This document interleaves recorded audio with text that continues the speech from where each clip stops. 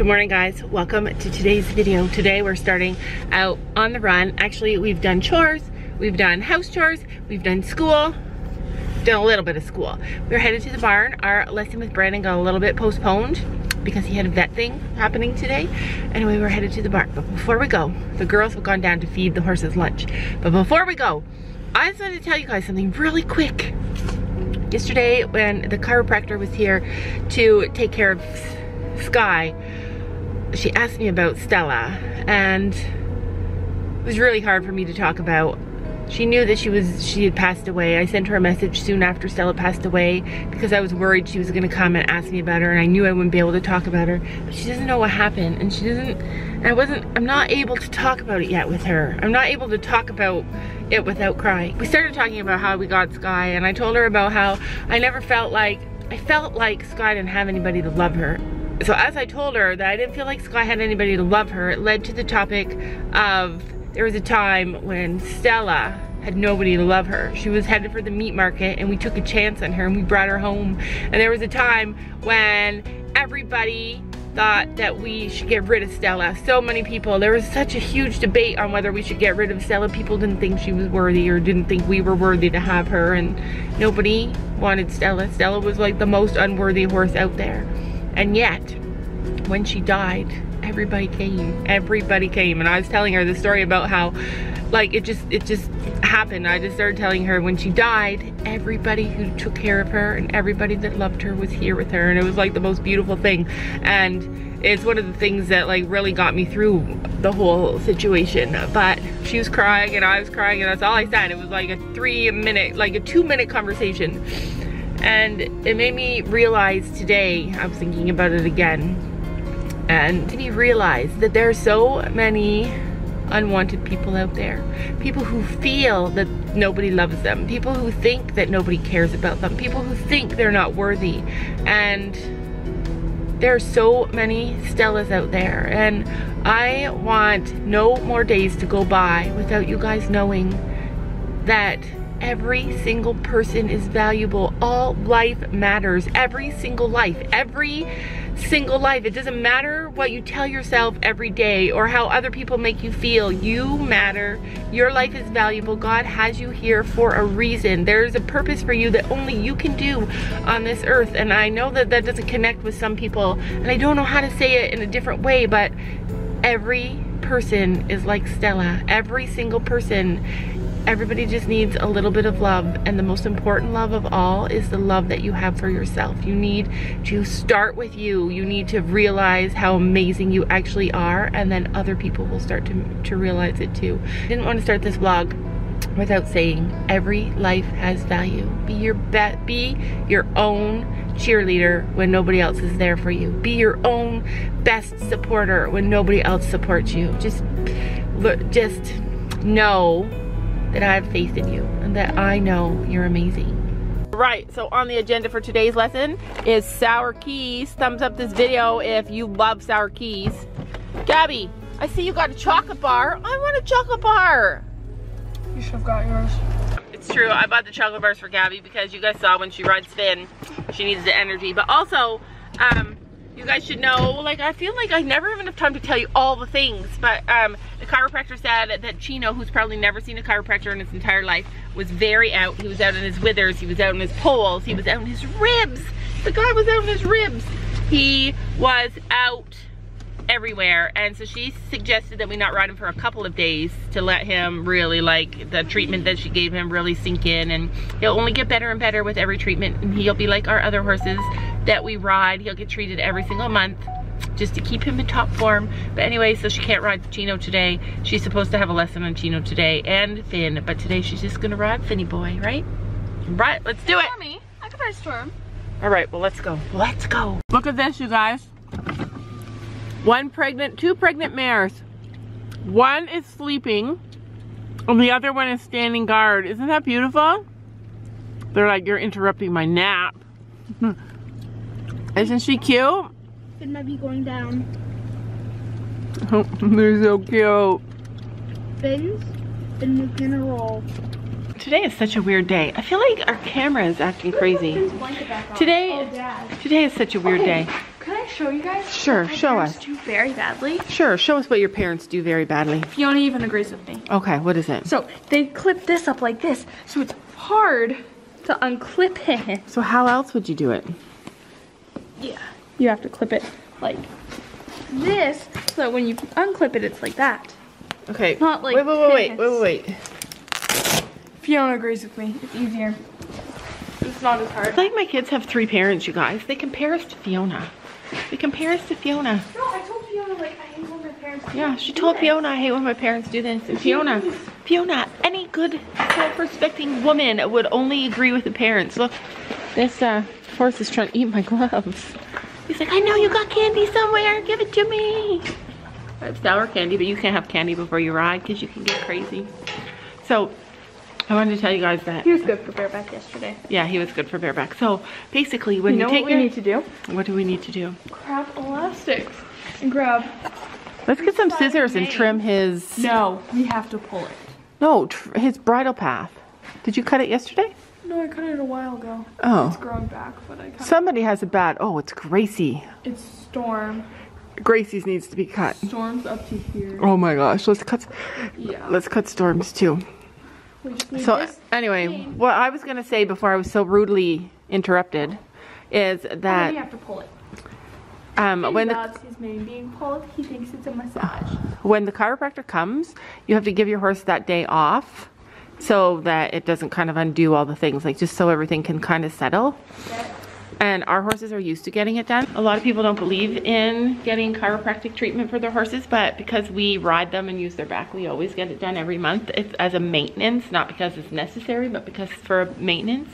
And so Finn thinks it's like the best thing on earth. He hangs his head down and just lays there while she works on him. Storm uh, enjoys it, not as much as Finn. But Chino, who's probably never had it done before, she came in and he was like, oh, you want to fight me? Because he did not even have a clue what she was doing. And within five minutes, he was like a limp noodle just laying there like, don't stop, don't stop. He really enjoyed it. So- in the background too. So our horses will have like little things that are out. Like Finn will, he was, I forget what she said. She told me so many horses. Um, Finn was out a little in his one shoulder. He was out like just a little bit because we maintain it. But Chino was out everywhere. His rib, he had like ribs were hang, like were out. He had his, um, his neck was really out. Fiona thinks that once he gets His withers. um, yeah, his withers were out, his head was out, like everything was out on Chino. Fiona thinks that once he gets fixed, he won't like have a crooked, he won't be crooked like he's been crooked.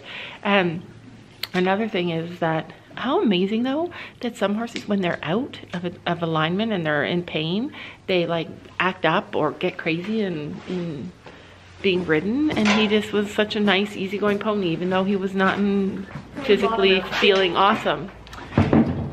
She also told me that Storm's body really enjoys what he's doing now. So he was out less than he ever gets out. And he, she thinks that he's just, conformation wise, he's meant to do less than what Gabby wanted.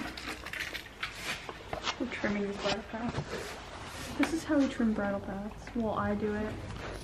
The horses don't like. Yeah, don't, okay. Did you guys see Gabby's TikTok? It turned out so, so cute. There was a time when I'd be, the ground, so there had be, there was a time I'd be freaking out when she cut somebody's, oh, it's still long. No, I cut it up to here. Oh. That way it's not there. Yeah. That many. Oh, that's just mud. I was like, what? That was just mud. He still has long hair. Long tail. He's got a pretty tail. You got a pretty tail. Yes, you do. Anyway, anyway, the chiropractor said we should let Chino rest for two days. So he's getting two days off um, so that he can be adjusted and be feeling good before we start working with him again. It's literally so cold out again. It's like spring, winter, spring, winter. I'm surprised not everybody's sick. Anyway, I wanted to come out and see if Chino will come to me for a treat. Look at him. King of the castle.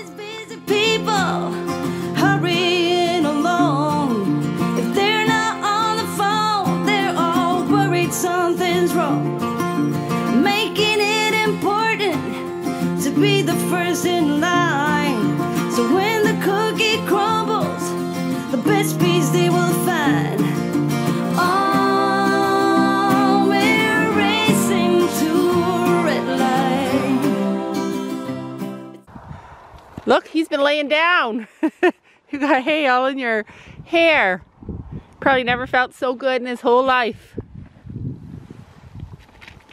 You know, normally you have to earn that. Have you ever felt like when you get a new horse, it's like when you get a new car and it's like, oh, this is such a good car. And then after a week, you start seeing all the problems with the car. It's like with Chino, I'm starting to feel like seeing problems. Like I'm already getting little warning signs of things that are gonna pop up in the future. Like I know he's gonna want shoes for show season. He's just that kind of a horse. Right? Yes no matter how much vet checking you do, there's still so many things that are unknown when you buy a horse. Even though you're a nice one. Mm -hmm. Don't even start with that. No. He's such a love. Isn't he cute though? With his hair all pretty now. I like his hair, even though we got a lot of flack from that in real life, cutting that hair. You're such a cute boy. I really love you. Yes. You know, every time you spend time with your horse and feel like you love your horse, that's when your horse feels like they love you too. Listen, run me over. I'll stand on your pile. See, this is his hay pile. All right. Come here.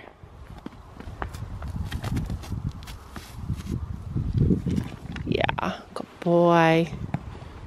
Good boy. Yeah, you are such a good boy. Don't you even try that business. Yes. Okay, one last one. Okay? then I'm done. One fell on the ground. Ugh. Hold on. Good boy. All right. Now I'm done bonding with Gabby's horse. Uh-oh, this is going to get dicey. Listen, don't follow me. Oh gosh. Listen, we are not friends now. Get. No.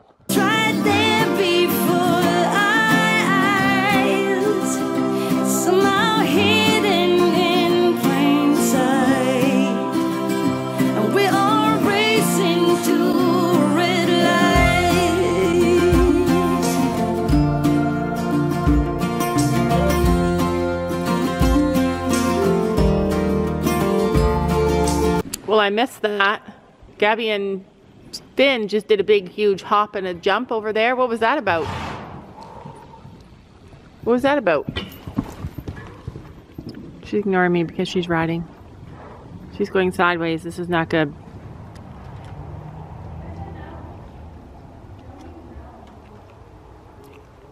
Is your saddle on crooked? Because he's sideways. He just doesn't want to go slow. Well, no wonder. He just got adjusted. He'd be feeling happy. He'd be feeling good. He just wants to fly.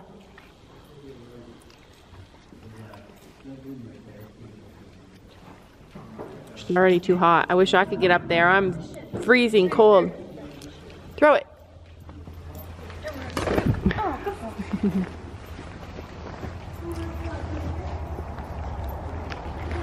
See, he's going crooked.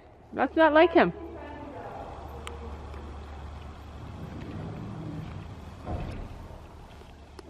Do not poop. Do not do it.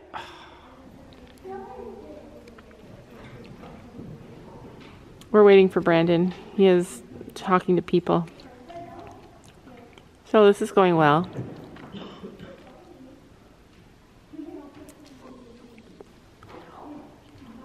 He's chomping at the bit. He's like, let's do it. I know, because he feels good. He's got energy again because he's all adjusted. This is what I feel like is going to happen with Chino. The next time we ride him, I think he's going to be a whole heck of a lot of a different horse. See, they're going crooked. That's not normal. Why you got his head bent?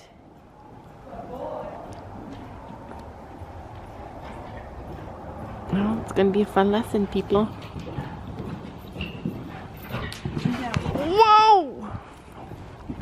So the rule is if somebody almost runs you over, you're allowed to push them off their horse. Get ready for it.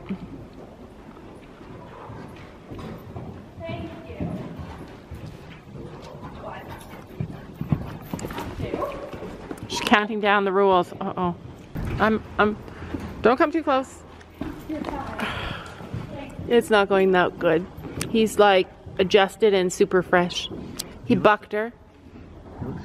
It looks crazy. He bucked her. Well, he got adjusted yesterday. Oh, are you guys allowed to ride them today? No. Yeah, just not the day that they're adjusted. You sure? Yeah. 110%? You're Yeah. not supposed to ride them the next day. Hmm. Are you allowed to ride them today? Are you allowed to ride them today? Yeah. Are you allowed to ride today? What's the chiropractor say? She said that not to ride Chino for two days because yesterday and today because he was really out everywhere. But we always ride the day after. We're always been we've always been allowed to ride the day after. Hmm. It's just the day. Been banished. Who's your chiropractor? Maybe she shouldn't ride. I mean, he's You might just have to ride, not lesson on them. I think we should just put him back in the field because this is just a, a fight. Like I've never seen him this crazy in a long time. He's been really good. Hey Gabby, do I just get off and just let him run? Yeah, let's do it. Yeah, just hop off and... Yeah, but after you let him run, right? Okay. Oh we'll my ride God. him and then if he still has a ton of energy.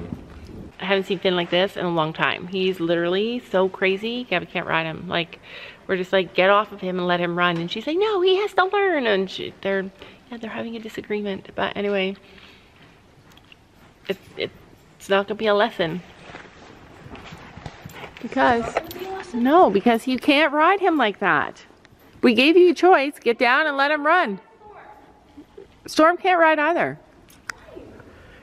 Brandon says you're supposed to wait two days. Like you're not supposed to ride the day after. Okay, so we are home. The camera's making my face look really red and it's not. I don't understand. Yeah, I'm a farm girl. I pull straw out of my headband. But anyway, we are home and I just wanted to tell you guys that we had a really bad day. Like a really bad day. And I'm gonna tell you what happened so that I can share with you guys what I do when I have a bad day and I act like an idiot because that's what I did today. I acted like an idiot. So basically what happened is that we had a lesson and it was for noon because um, Brandon had some other stuff going on and we arrived. Our horses got the chiropractor yesterday, and what our chiropractor tells us for horses that have been adjusted regularly, like our horses get done every four weeks, um, that they should manage, like they should have that day off, and then they are fine to ride the next day.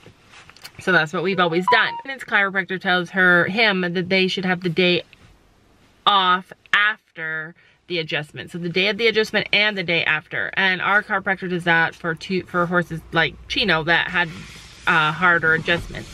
So basically, um, we went there and and we went there and Finn was crazy, like to the point where if Gabby was going to continue to ride him, somebody was going to die. It was going to either be me, who she almost kept running over, or her, or Finn. Like somebody was going to die.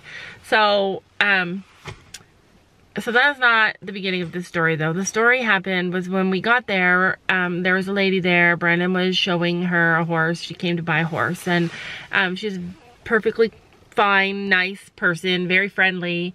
And she's, I feel bad sharing this story. Like people are going to say, don't tell stories about people. Yeah, it's terrible. She's probably never going to see this video. I don't think she knows us. She didn't seem to know us. She's not probably not going to see the video. I'm not going to name any names, but this is relevant to my story. So the lady got there and she saw Brandon warming up a bit. And she said, wow, I'm really glad that you're warming up the bit because most people don't. And I said, well, that's crazy. Like we always warm up our bits in Canada because it's really cold here. So you'd be putting like a big, huge frozen metal piece in a horse's mouth. It's just not kind. So um, she said that, you know, where sh she lives, there's a lot of people that are uneducated and really love horses and want to take care of them, but they're uneducated and so they just do dumb things like that. They don't understand like all the proper things to do. And and then she went on to tell a story about how when she went to for her exams for equine instruction that the instructor